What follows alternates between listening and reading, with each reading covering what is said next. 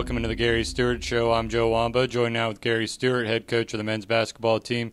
And, coach, uh, rough week a little bit, but you get to play them both at home, exciting environments, and uh, some strong performances out of the guys.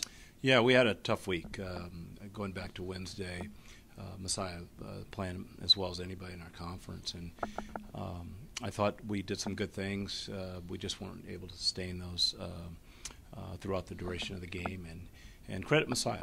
they did a good job of um, making some timely shots and and um, uh, pinned our ears back a little bit, and, and, we weren't able to recover.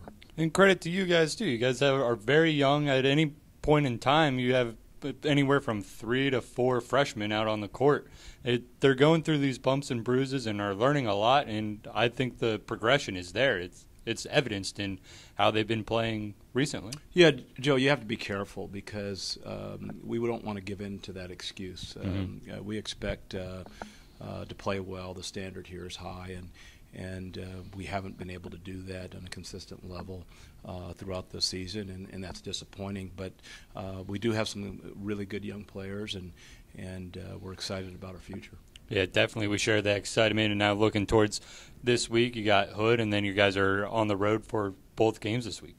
Yeah, we've got Hood here on uh, Wednesday, a, a, team that played uh, very, very well um, when we played them um, in Owings Mills, and and we expect uh, um, them to play um, to their capabilities. It's a very important game for them, and it is uh, for us as well. Mm-hmm. And uh, uh, we've always had a hard-fought uh, contest uh, between the two schools, and, and I don't expect anything different.